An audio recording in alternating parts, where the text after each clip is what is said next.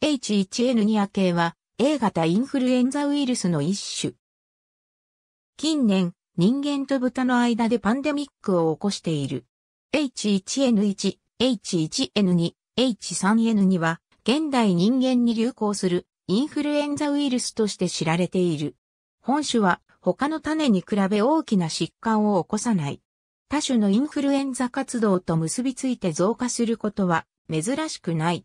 H1N1 と H3N2 の遺伝子再集合によって生まれたと考えられている。ウイルスのヘマグルチニンが近年流行している H1N1 ウイルスと近似しており、ノイラミニダーゼは H3N2 ウイルスに似ており、H1N1、H3N2 の両方に効果を持つ季節性インフルエンザ用のワクチンは H1N2 型に対しても一般のインフルエンザ同様の効果を持っている。A は2001年から2002年の流行期にカナダ、アメリカ、アイルランド、ラトビア、フランス、ルーマニア、オマーン、インド、マレーシア、シンガポールなど北半球に後半に確認され、2001年5月31日にインドで起こったのが最初である。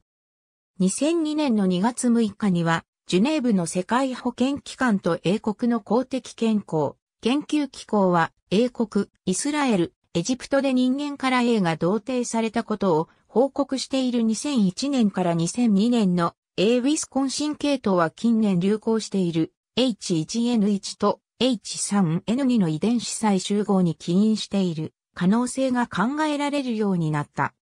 2010年12月から2011年1月にかけて中国の6つの市において19種類の H1N にウイルスが確認された。しかし、ウイルスは後半に広がらなかった。